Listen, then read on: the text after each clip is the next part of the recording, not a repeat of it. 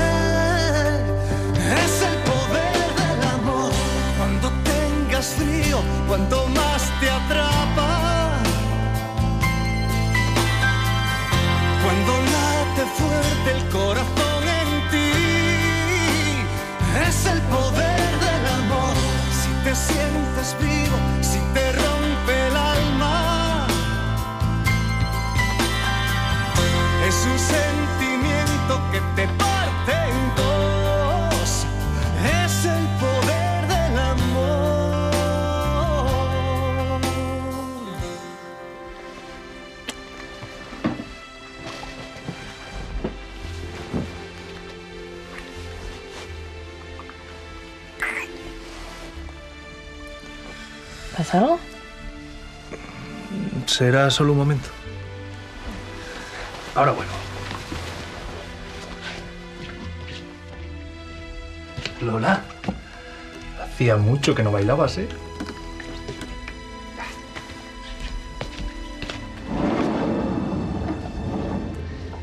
Perdona por la interrupción. ¿Por dónde íbamos? Por aquí.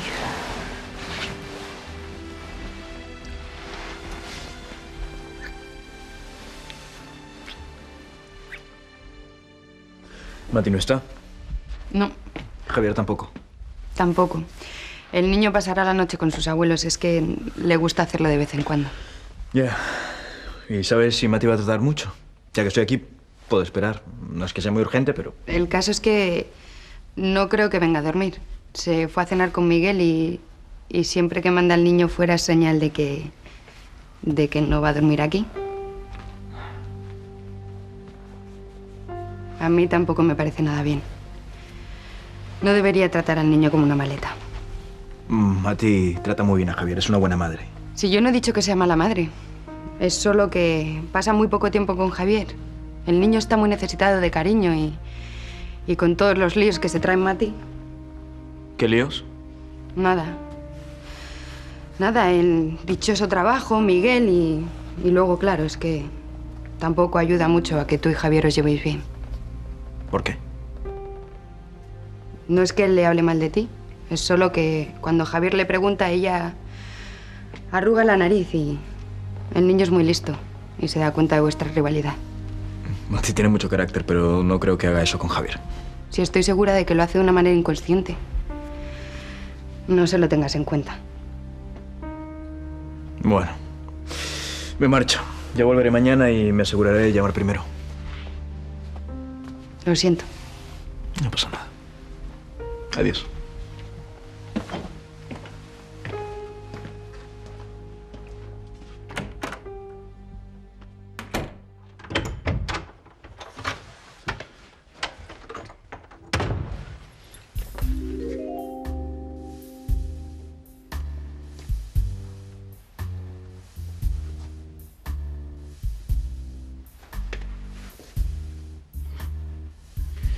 Miguelito, Miguelito. Esto sí que es el alta definitiva.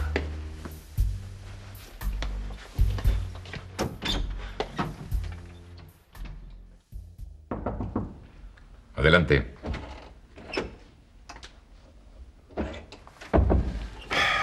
¿Tienes que molestarme todo el rato? En la editorial, en casa, te tengo hasta en la sopa.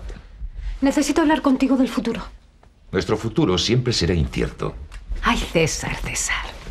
Eso es lo que más me gusta de ti, tu poesía. Venga, venga, venga, venga. Dime lo que tienes que decirme y déjame leer. Esta novela está de lo más interesante. Están a punto de asesinar a la mala. Necesito 60.000 euros. Pensé que casándote conmigo estaba servida. ¿Para qué quieres tanto dinero? Para invertir en mi vejez. La bolsa está fatal. Quiero comprarme un pisito. Cualquier día te pasa algo y tengo que marcharme de esta casa. Cualquier día no. Me queda mucho para morirme. Bueno, más vale prevenir. Quiero ir invirtiendo en algo sólido para cuando me faltes, mi vida. A lo mejor te mueres tú antes. Por cierto, Irene, ¿cuántos años tienes? Digamos que mm, todavía estoy en edad fértil. Sí, de fertilizar malvas, no te fastidia. ¿Me vas a dar el dinero, sí o no? No. Si quieres comprarte un piso, tendrás que hacerlo con tus ahorros.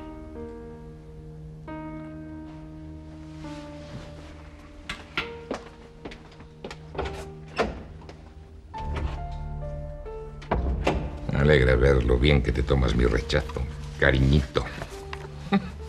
Edad fértil. Buah.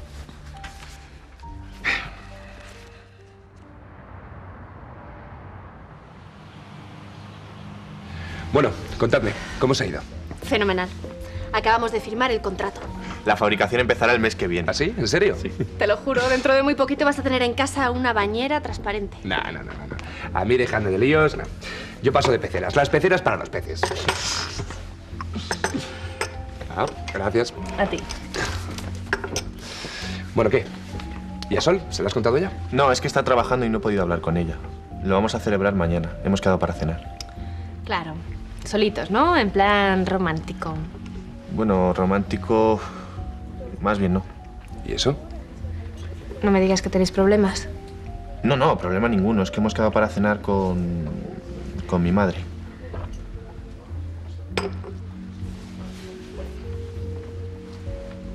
Bueno, pero... No te preocupes, ¿no? Sol le cae muy bien a todo el mundo. Salva, yo la quiero mucho, pero estamos hablando de mi madre. Mi madre y Sol. Una carnicería.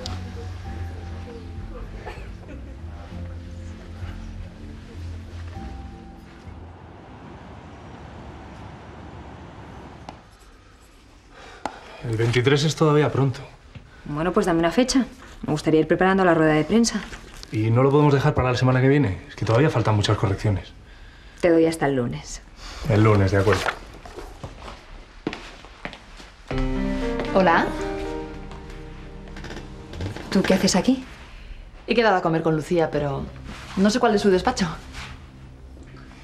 ¿Puedo pasar o está con alguna visita? Pues eh, espera un momento. Lucía, ha venido a verte Loreto. De acuerdo. Ahora sale.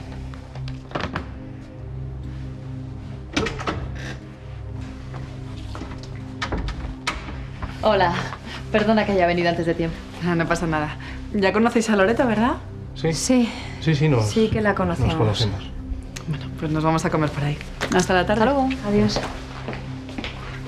Hasta, hasta la tarde.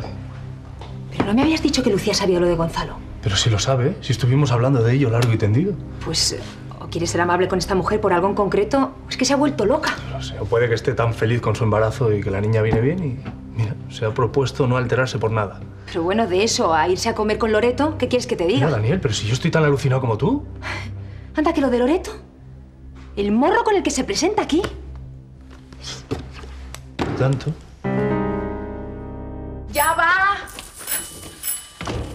Seguro que está impaciente, César. Una copa, Marina. Sírveme una copa para que me tranquilice. Pero Sebastián, ¿qué te pasa? ¿Has visto un muertito? Casi. Maldita sea. Estamos acabados. Como César se entere, no machaca vivos. A ver, Sebastián, por favor, no me estreses. ¿Qué te pasa? ¿Mm? ¿De qué se va a enterar César? De que tú no eres la hija de Cassandra. ¿Y por qué se va a enterar de eso? Porque Miguel sigue investigando y últimamente se ha tomado mucho interés por Cassandra. ¿Cómo lo sabes? Hoy me ha llamado Juan, un amigo de juventud que está de juez en Barcelona. Hacía más de un año que no le veía y... Bueno, desde sus bodas de plata, para ser exactos. ¿Y qué? Pues que me ha dicho que se acordó de mí porque unos amigos de César se pusieron en contacto con él. Al parecer un tal Emilio se fue a Barcelona para hablar de César y él le contó todo lo que sabía de Cassandra. ¿Y qué es lo que sabe? Mucho más de lo que nunca llegué a imaginar.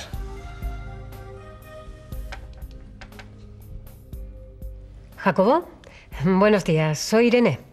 Hola Irene, ¿cuánto tiempo? Nunca vienes a verme por el banco. Ya, pero es que siempre estoy a tope de trabajo. Nah, lo comprendo. Bueno, dime, ¿qué puedo hacer por ti? Pues mira, me gustaría vender unas acciones. Necesito 60.000 euros. Uf, no te lo aconsejo, ¿eh? La bolsa ha caído muchísimo y si vendes ahora vas a perder casi un 40%. Ya sabía yo que me ibas a dar un disgusto, pero es que necesito ese dinero. ¿No puedes conseguirlo de otra forma? Casi te va a salir mejor pedir un préstamo. Pues mira, no es mala idea. Me lo pienso y te vuelvo a llamar, ¿vale? Bueno, como quieras. Y pásate un día de estos. De acuerdo, hasta luego. Adiós.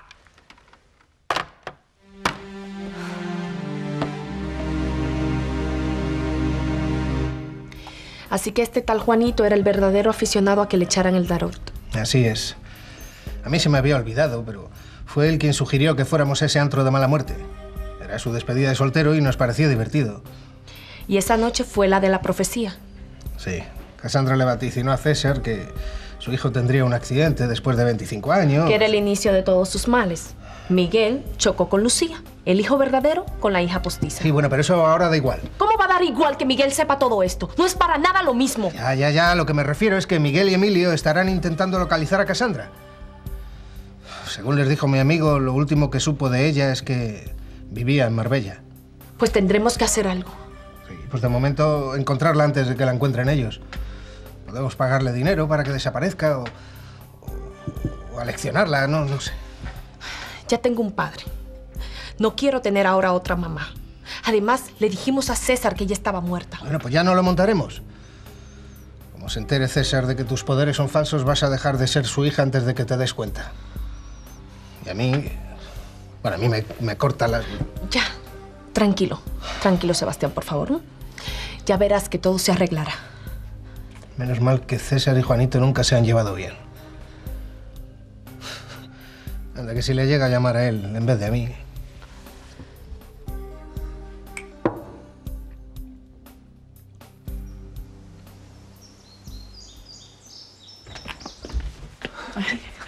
Hola. Hola. ¿Qué pronto vienes? Es que me estoy tomando el trabajo con calma. ¿Y tú? ¿Te ibas? Sí, pensaba pasarme por casa de Mati. Natalia debió decirle que fue a verle anoche y Natalia me ha llamado para quedar. Bueno, pues si tienes prisa. No, no, no, no. Me quedo un ratito con mis dos chicas. ¿Qué has hecho hoy? Pues aparte de comer con Loreto, nada especial. ¿Has comido con Loreto? Sí, me gusta conocer bien al enemigo. Ya, y Loreto es el enemigo. Pues sí. Le tira los tejos a mi marido y eso me fastidia. Me fastidia un montón. Oye, Lucía, hablando del enemigo, anoche cuando fui a ver a Mati hablé un rato con Natalia y ¿Y? esa chica no me gusta nada. Empezó a criticarla sin motivo solo porque había mandado al niño a pasar la noche con los abuelos y... Bueno, ¿y qué hay de malo en eso? Nada, eso digo yo. También insinuó que Mati pasaba mucho tiempo con Miguel y que descuidaba al niño y que malmetía contra mí. Y Mati será lo que sea, pero Javier está muy bien atendido. Eso lo tengo claro. Pues si crees que debes decírselo a Mati, coméntaselo. Sí, ¿verdad? También es tu hijo. Tienes derecho a opinar sobre la chica que le cuida.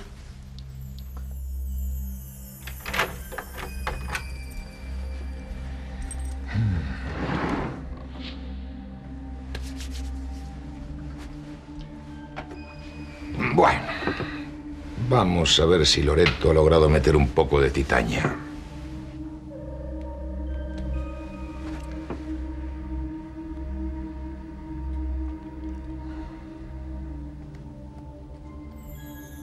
Gonzalo, Dime, yo todavía no te he pedido perdón ¿a mí? ¿Por qué? por las cosas tan duras que te dije antes de la operación. La de que quería cambiar de médico y eso. Soy yo quien tiene que pedirte perdón, Lucía. Tú tenías razón, todo ha salido bien. Pero te preocupabas por mí y yo solo te di problemas. Y yo a ti. Siento mucho lo que pasó con, con Mati. Nunca debí besarla. Gonzalo, quiero que te quede bien clara una cosa.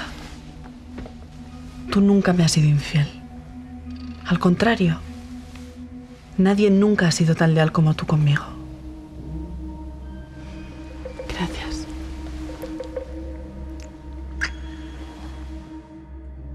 Pero será posible que tengo que hacer. Mandar a Loreto para que baile la danza del vientre delante de ella. Que tu marido te pone los cuernos, espabila.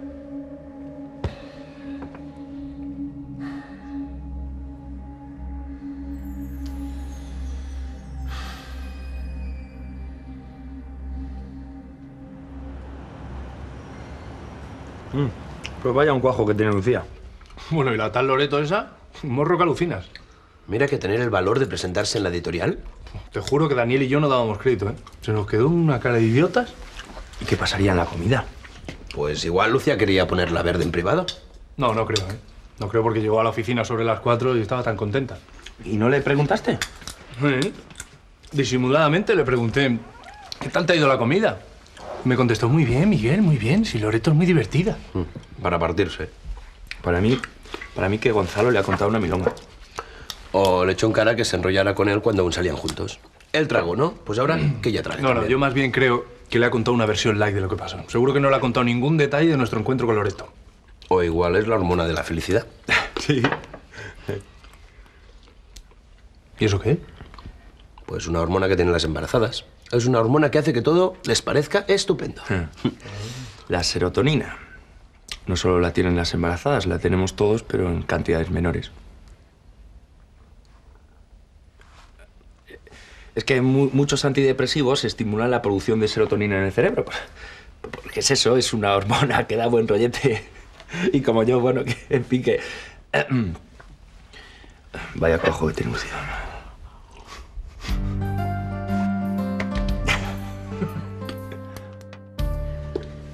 Javier está en un cumpleaños y le he dado la tarde libre a Natalia. Vaya, esperaba poder ver a mi hijo. Hoy no te tocaba. Ya lo sé, Mati, pero me apetecía verlo. ¿Te molesta? No, no, perdona. Bueno, pues tú dirás. Tenías mucho interés en hablar conmigo, ¿no? Natalia me dijo que estuviste aquí anoche. Sí. Pues dispara. Lola estaba aquí el otro día cuando vine a ver a Javier. ¿Y? Quería pedirte, por favor, si no es mucha molestia, que se abstenga de venir cuando sepa que voy a estar yo. Cada vez que me echa la vista encima me crucifica. Ya sabes cómo es Lola, no se lo tengas en cuenta. Ya, ya, pero estoy cansado de ser el malo de la película, Mati. Al menos dile que me deje respirar. Nunca te hice daño a propósito. ¿No podemos olvidar el pasado de una vez? Me parece que el que se empeña en no olvidarlo eres tú. No eres ningún santo, No, no, ¿sabes? yo no he dicho que lo sea. Solo faltaba eso. Está claro que me he equivocado viniendo, como siempre. No. No del todo. Yo también quería hablar contigo. ¿De qué? Aquel día que me acusaste de mandarle los anónimos a Lucía, Javier nos oyó discutir y se ha enterado de que va a tener una hermana. Vaya. Todos le hemos dicho que le vas a querer igual, pero él no lo tiene claro. Quiero que se lo expliques, que le digas que le vas a querer tanto como al bebé. Asegúrate de que, de que lo entiende y de que se queda tranquilo. ¿Te enrollaste con Mati? Pero qué bocaza tienes. Oye, macho, no podía callármelo. ¿Y cuándo? ¿Cómo? Pues mira, ¿cuándo anoche? ¿Y cómo no pienso contestar si no es en presencia de mi abogada? Te aseguro que pasaron gran parte de la noche repasando el código penal. Pero qué gracioso eres. Seguro que no dirías lo mismo si estuviera ahí adelante. No, seguro que no. Con la mala leche que tiene a veces, menudo cabreo se iba a coger. Tiene carácter, sí. ¿Eh? ¿Qué pasa? Que nos alegramos por ti. Ya era hora de que te olvidaras de Lucía, ¿no? Sí. Pues, por una vez y sin que sirva de precedente, estoy de acuerdo con Lola. Creo que fue Natalia quien le malmetió al niño. Tú con tal de no asumir tus responsabilidades le echas la culpa al primero que pasa. Natalia trató de hablar con Javier porque nos oyó discutir. Esa chica no me gusta nada, Mati. Anoche cuando vine a verte no se cortó un pelo para criticarte. No te creo. Me dijo que pasabas poco tiempo con el niño. Que desde que Miguel y tú estáis juntos, cada vez pasa más noches en casa de los abuelos. Mira, Gonzalo. Natalia es una chica fantástica. Cuida de Javier como nadie. Le quiere y le protege. Javier es un niño feliz y además se lo pasan estupendamente. Sabía que era un error. ¿El qué? ¿Estás contra mí? Basta que yo diga una cosa para que te creas justo lo contrario. Ya lo comprobarás por ti misma. Cuando veas cómo es Natalia realmente, ya me dirás, tenías razón. Lo dudo mucho. Y ahora, si no te importa, he quedado con mi chico para ir al cine y no quiero llegar tarde. ¿Con Miguel? Sí, con Miguel.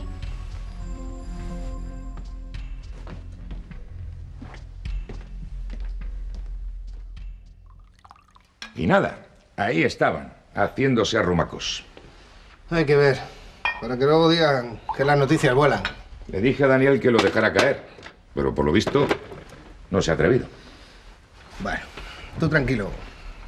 Lucía acabará enterándose de lo de Loreto tarde o temprano. Mientras no le dé un yuyu. Espero que no. Con el que tienes que hacer algo y con urgencia es con Miguel, ¿eh? ¿Qué pasa? Pues que es tu hijo.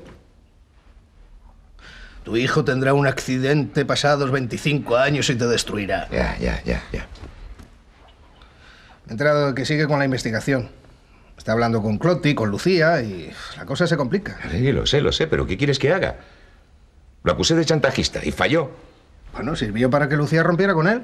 Pero volvió a sus brazos. ¿Eh? Y luego lo acusé de ladrón. Y aparte de ganarme la eterna enemistad de Rodrigo, no he conseguido nada más. Que Lucía volviera a romper con él y se liara con el médico. Sí, pero después está lo del intento de asesinato. Me dejé meter un tiro en la pierna para que Miguel fuera a la cárcel y nada, chico, estoy hasta las narices. Este es el tentetieso. Sí, sí, sí, eso sí es verdad. Encima ha vuelto a caminar. Bueno, por lo menos te ha servido para ponerle obstáculos en el camino. Bueno, a ver, se aceptan sugerencias porque aquí todas las ideas se me ocurren a mí. Bueno, vale, vale, vale, pensaré en algo, a ver qué se me ocurre. Pero tú ponte las pilas también, ¿eh? Porque Miguel no parará hasta verte hundido.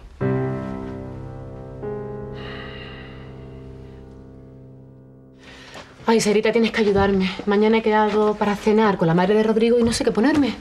Bueno, tranquila. Elena no muerde. Eso no he oído yo por ahí. Bueno, mm, sí que muerde. Pero tú eres una chica divertida y fuerte. Saldrás del apuro.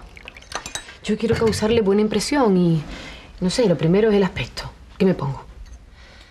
¿Vais a cenar con los hermanos de Rodrigo? No, acuérdate que están estudiando en Inglaterra. Nada menos. Así es verdad. Pues vaya marrón, ¿no? Deja de asustarme y dime.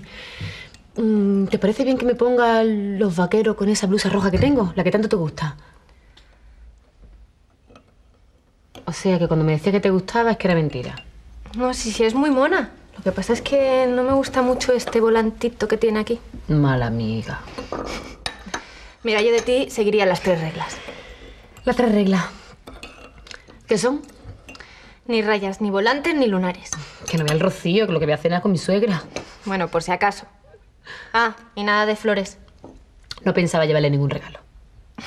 Digo, en la ropa. Que no se te ocurra ponerte un estampado de flores. Ah. Entonces me pongo un pantalón negro y una blusa blanca, ¿no? Pues con eso seguro que aciertas. Ya. Pero qué soso que se los peo. Ah.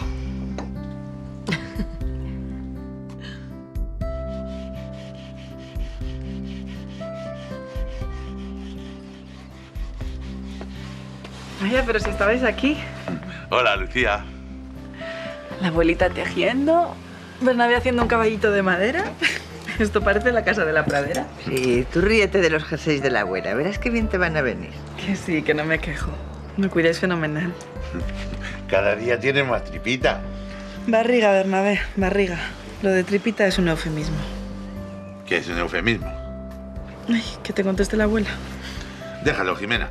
Siempre que Lucía dice eso, es que es alguna palabra complicada. Y total, para lo que la voy a usar, Un eufemismo es una palabra que se usa porque suena mejor que otra. Y tripita suena mejor que barrigón, que es lo que tiene esta niña. Ay, qué bien se está así sin tener que hacer nada. Dejando que todos te mimen y que estén pendientes de ti. Ya ahora era de que tuvieras un poco de paz. ¿Eres feliz, hija? Sí, soy muy feliz. pues entonces, yo también.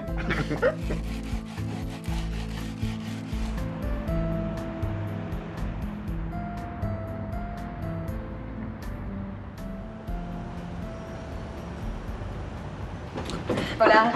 ¿Venís de jugar al tenis a estas horas? No, de jugar al squash. Sí, por cierto, Pablo me ha dado una paliza que... Es que tú juegas al tenis, pero todavía no dominas la técnica de muñeca. ¿Un zumo? Vale. ¿Y tú qué tal? Bien, como siempre. ¿Y Daniel? Pues sigue saliendo con ese tal Arturo. Y Emilio, con Tessa. Eh, eh, eh, entre tú y tu padre me convencisteis de la idea de que, de que me inventara una novia falsa. Oye, oye, que yo me arrepentí enseguida. Además, ya te dije que te habías pringado bastante con lo de Boris. No, eso lo dije yo.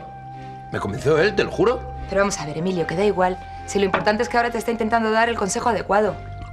¿Qué es? Dile, Dile a la Daniel verdad, que la verdad- Daniel.